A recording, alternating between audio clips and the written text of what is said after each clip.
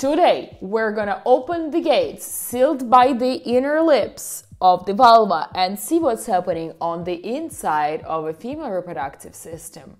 Hello, hello, hello, hello. Is there anyone here? Here, here, here? yeah, I've just compared vagina to a cave.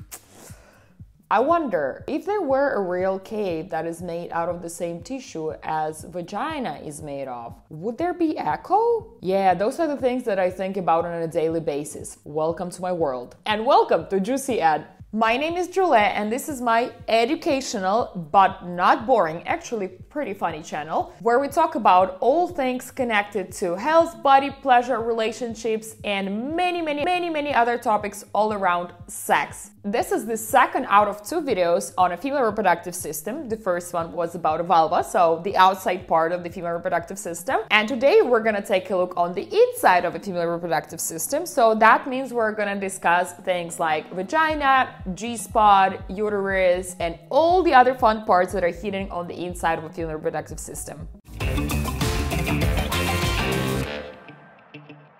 So, the main parts of the female reproductive system on the inside are vagina, cervix, uterus, fallopian tubes, and ovaries. Vagina is the first thing that you see after you go past vulva. And just a little side note and a little reminder, vagina and vulva are not the same things. We've already learned the difference about that in my other video. So vagina is this muscular tube 7 to 10 centimeters or 2.7 to 3.9 inches long it goes from vulva to the uterus. And vagina is highly elastic in every direction. And also, it expands when it's aroused. So it's not just the penis that grows from sexual stimulation. Vagina grows as well. And because it's being so elastic, it can handle really big objects inside of it. And no, you little perps, I'm not talking about large penises, even though vaginas can handle those too, of course. But I'm talking about birth and the fact that baby is using vagina as this channel to slide slide down um, into this world. So it's basically a birth canal. And being a birth canal is one of the functions of a vagina. Another functions of a vagina are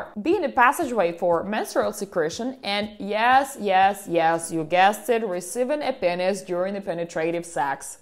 receiving a penis sounds like they're about to have a 5 o'clock tea party. Well, hello, Mr. D. Please come on in, make yourself at home. Would you like to have a cup of tea?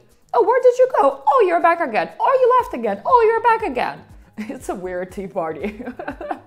Note to myself work on my British accent. Yep.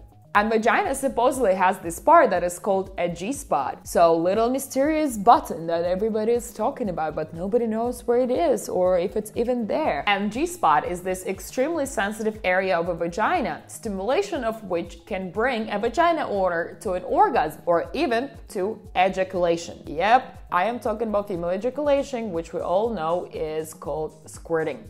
And the scientists have been actually arguing about the G spot for years now. So, vagina owners have reported having G spot or G area in completely different places. Some of them reporting having it on the right wall or left wall or farther from the entrance or closer to the entrance. But one thing that can be said for sure, if it's there, it is not a magical button and it's definitely not just a spot, it is more like a sensitive area inside of a vagina. So that's why I personally prefer the term G area to G spot. And since science has sort of failed to provide a unified answer on the whole G area question, I suggest you guys go on an individual mission and look for that interesting, mysterious area yourself. And do let me know in the comments down below what is your experience with this magical G area, whether you are a vagina owner or just somebody who interacts with vaginas. Next, if you stick your finger far enough in the vagina, you're gonna meet a dead end. That's right, vagina is a closed system, so things cannot just go in there and start wandering around a body. Like it just doesn't work like this, which does not mean that things cannot get stuck in there. These are completely different things, so you need to be careful still most likely what you're gonna touch in the end is the cervix or the neck of the uterus. It is this cylinder-shaped neck of tissue that connects vagina to uterus. It is around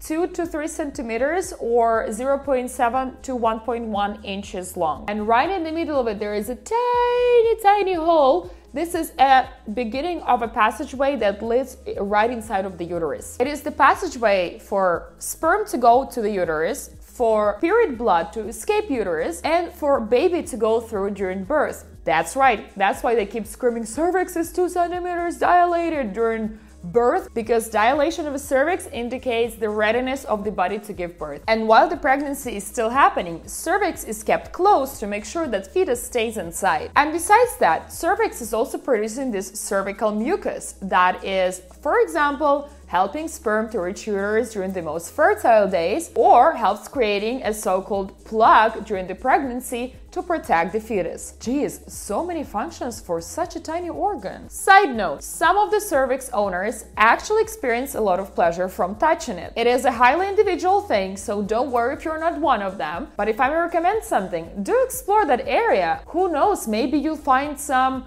hidden treasure, or should I say hidden pleasure in there. And right after cervix, there is the main part that is called uterus. So the uterus is this hollow, sick-walled organ located between bladder and rectum. So the uterus is like this triangle or an inverted pear pointing down. It is normally size of a fist, uh, so it's around 7.5 centimeters or 2.7 inches long and 5 centimeters or 1.9 inches wide. But of course, during the pregnancy, the uterus expands dramatically because this is where the fetus lives until it's ready to come out. And also, uterus is this place where period blood is being produced. And I really would love to tell you more about this beautiful process, but this topic is big, so I would rather have a separate video on that. So that's the place where I tell you to subscribe and stay tuned because I definitely will be covering that topic as well. The upper corners of the uterus have those thin tubes projected from them. Those are the fallopian tubes, normally around 10 centimeters or 3.9 inches long. Those are the passageways that carry eggs from the ovaries to the uterus. And also that's the place where the fertilization of an egg happens. And ovaries are those two small sacs, and they have two jobs. First of all, to produce and store the eggs, and second of all, to produce the hormones that regulate the cycle. I'm talking about menstrual cycle. So the ovaries are connected to the fallopian tubes. The fallopian tubes are connected to the uterus.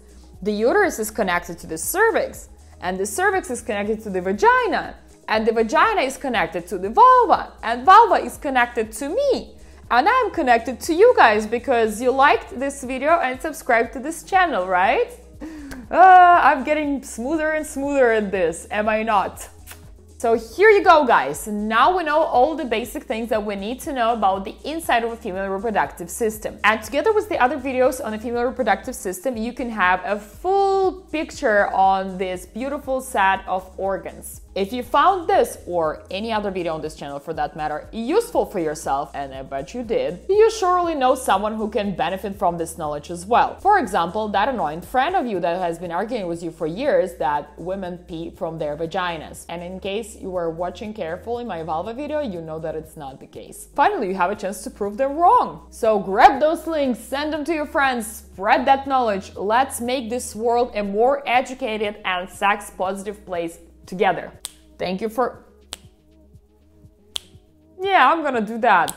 That's cool, right? Thank you for watching, my dear sex education warriors, and have a juicy sex. And I'm just gonna go have my tea party.